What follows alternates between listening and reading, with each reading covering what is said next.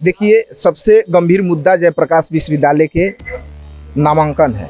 हमारा तो सेशन सत्रह उन्नीस है। जी। आज और 2021 चल रहा दो हज़ार इक्कीस खत्म होने वाला है। है जी। जी साहब सुनते हैं ना सरकार सुनती है। ये तो पूरी ज़िम्मेदारी हमारे बिहार सरकार की है राज्यपाल की है। जनसंख्या बढ़ गया। पढ़ने वाले छात्रों की तादाद बढ़ गई। लेकिन सीट वही है। लड़का जाएँगे कहाँ? मेरा सेशन पंद्रह दो हज़ार पंद्रह से अठारह तक। ये तो 2021 चल रहा है। हाँ छः साल हो गया लगभग। छः साल में आपने ग्रेजुएशन जी। कंप्लीट करी है। टाइम से पेपर ही नहीं होता है। पेपर का डेट भी निकलता है फिर कैंसिल हो जाता है।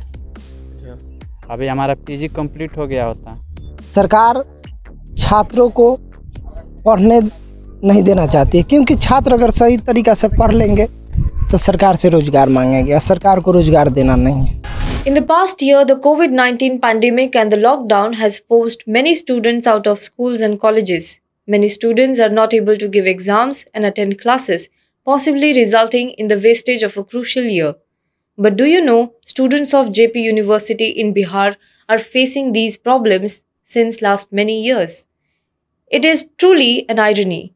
The university that is named after Jayaprakash Narayan, who channelized the zeal of the youth in this country, gave a direction to their anger, gave birth to student movements, and made the students of this country a reckoning force once upon a time, the same university today is playing with the lives of students who take admission with the hope and dream to create a bright future for themselves.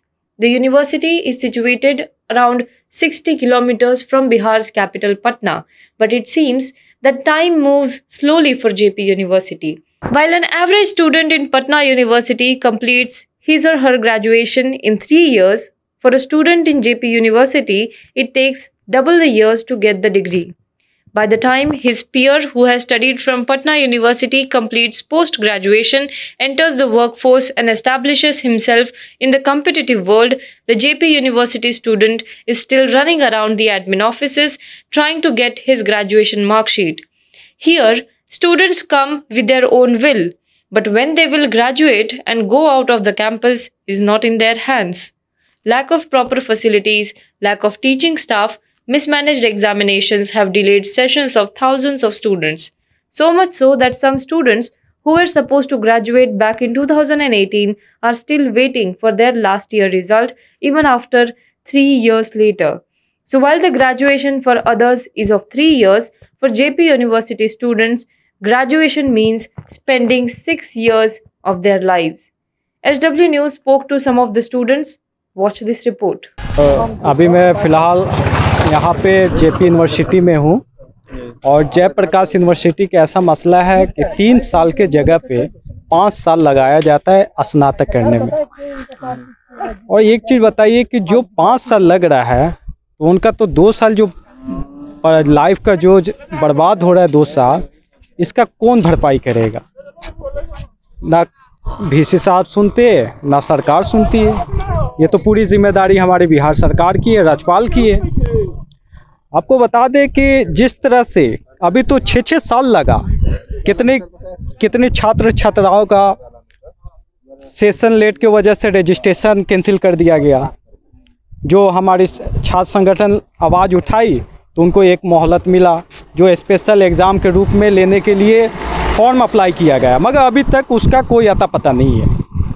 वहीं पे देख लीजिए college में जो Jayaprakash university के अंतर्गत आता है कॉलेज उसमें आपको ना पानी पीने का व्यवस्था है, ना आपको कॉमन रूम मिलेगा टीचर की कमी है स्टाफ की कमी है, बहुत सारी प्रॉब्लम है।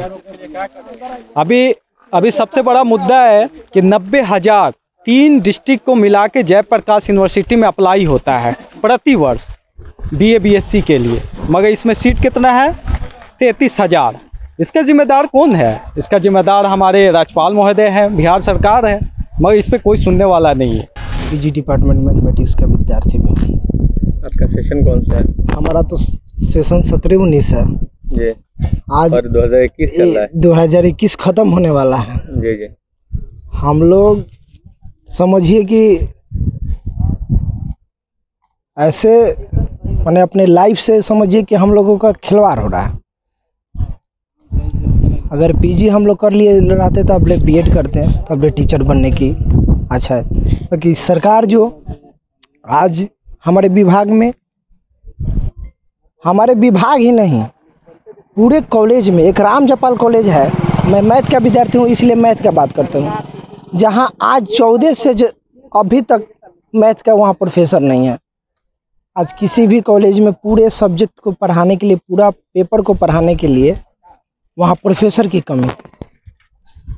ये सरकार की सीधे नाकामी दिखती है।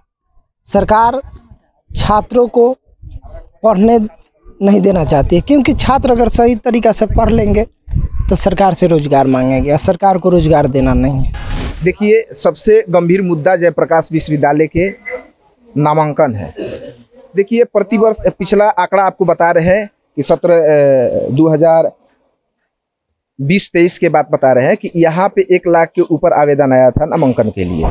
और यहाँ लगभग बाईस तेईस हज़ार नामांकन हुआ था।